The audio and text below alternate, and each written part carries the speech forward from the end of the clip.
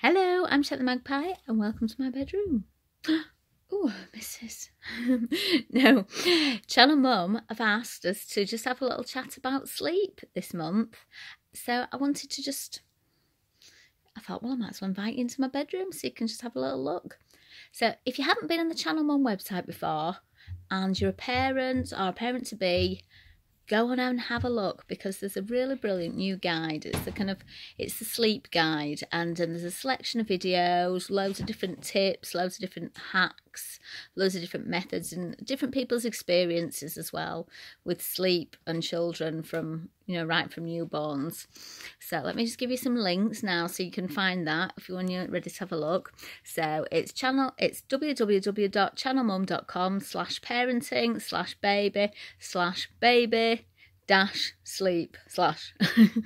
It's a bit of a mouthful. I'll put the link below though so you can find it and there's also a, a chat section as well which is www.channelmum.com stroke stroke chat. You see so sleep deprived i can't even speak properly. Uh, yeah but so that's where you go for all the information loads of different videos loads of videos from all the other vloggers talking about their experiences. And everyone's really different. I find it really interesting looking at the videos because everyone's so different their experiences. But i think the general consensus is have children don't sleep that's my experience anyway so we do things a little bit differently over here so you may or may not know, I've got five children and they're aged three, let's say this is my test this, three, five, seven, 12, and 15. That's, that's all of them, isn't it? So it's quite different for us because you know you've got all the kind of the newborn kind of carry on and stuff and then you think oh it ends there we'll have no sleep then and then that'll be fine turns out it goes on and on and on. So, at the moment, our sleep issues range from 15 year olds won't go to bed and just wander the house in the middle of the night looking for snacks.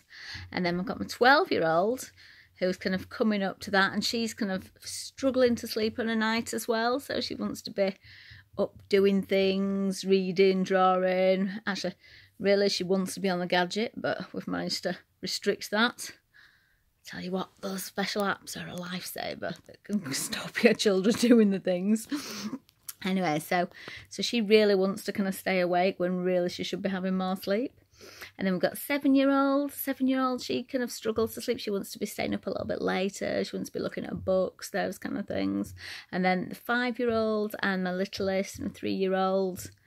Again, their kind of sleep varies, you know my three year old, if she has like one of those danger naps, you know, the ones that like about five o'clock when they fall asleep in the car, and then you're like, no, no, because you know full well they're going to be staying up later. So I'm just going to show you my bedroom. Now I've got some children in it at the moment, which this is what we do. So we do co-sleeping in our family. And at the moment, in our bedroom, we have these two little beauties. You see there? So this is my five-year-old and this is my three-year-old. Now, as you can see, my five-year-old has decorated my bedroom. So we've got a selection beautiful pictures there. He's been in charge of curating the gallery. but yes, so I'll show you our bed. So this bed here so this is the bed that I share with these two here. These are my nurslings. So I usually, I'll feed Alice to sleep on a night. And I've done a good job tonight because she is actually asleep. And then what I do is once they've both fallen asleep, I do this special thing which I like to call the Labrador position. So it's where I get out of this bit of bed and then I sleep across here. I bet Gina Ford didn't tell you about this, did she? so yes, I sleep in this special kind of Labrador position across the end of bed. And that started to happen because although we've been co-sleeping for a long, long time, you know, I did it I did it with right from the older ones. So I've had lots of children in my bed for a long time. Then I discovered I just wanted just a few more minutes. Just I just wanted a little bit more, a bit, a little bit of space, a little bit of time, just kind of by myself, relaxing on a night in my bed. So I decided I could just kind of shuffle to the end, and then if anyone woke up in the night, I'm still there to help out, give milk, do any of those kind of things. I usually end up with little Alice kind of moving over to me in the night, but you know what? That's fine because I do like a cuddle in the night. And then this area here, so my husband is very lucky. So this is my husband's part of the bed. So this is um, this is a double bed and mine's a king size. So we're all just kind of here in the biggest bed in the world. And you know what? It's absolutely brilliant. And I think even when all the children have grown up and nobody's in my bed, I think I'm still going to want this special situation. So I can go in my bed and spread out. I'll be like, oh, and he could be in his bed. So, so if you're wondering kind of why we decided to co-sleep, I just, it originally started because my eldest, when he was born, is at the birth, you can hear him downstairs. I don't know if you can hear a noise, like a bongos in the background. It's like, what is this place, Shelter? That's my eldest playing bongos. And what time is it? It's about half past ten. He's playing bongos. This is what this is the kind of thing you have to put up with when you've got older children. This is, these are the sleep issues. Nobody mentions those, though, do they? Never mind. You can look forward to them.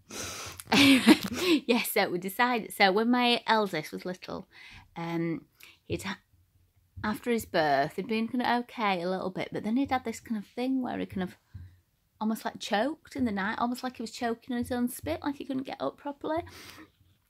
And that was the day that I decided he would never leave my side at night ever because it was a terrifying experience. I'd called the midwives and they kind of ran up the corridor, got him and ran away with him down the corridor, and it was awful.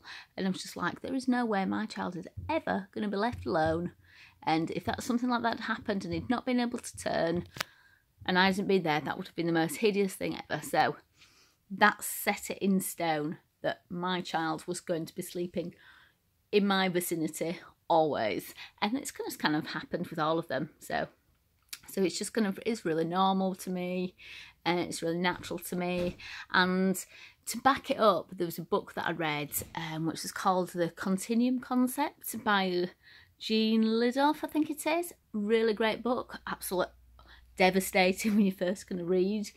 And because it kind of really challenges a lot of you kind of parenting preconceptions, you know, especially if you've gone from just like just like the traditional kind of British idea of parenting. Um, you know, you kind of doing up your nursery, getting your bed ready for your little one, it's going in its cot in its own room and all those kind of things. That's kind of what we've been brought up with, really. But this kind of spoke about um, indigenous people and how they live and how families all live together and you know they'll sleep close. And you know originally it was to you'd sleep with your baby really close next to you to stop him being eaten by bears in the night, you know, or foxes or that kind of thing. So it was a safety thing. So our bodies are still, our bodies still kind of need that. And, you know, that's, that is one of the reasons, you know, babies cry when they're away from the parents at night and they feel they need to kind of be close. They need to kind of sense that you're around for their, their safety. And, you know, I think when you, as a parent as well as a mum, you'll get that feeling as well, you know, it's hard to sleep. If your baby's in, in another room sleeping, it's hard to sleep because you're just like, oh, and then you kind of list that listening out and all that kind of thing.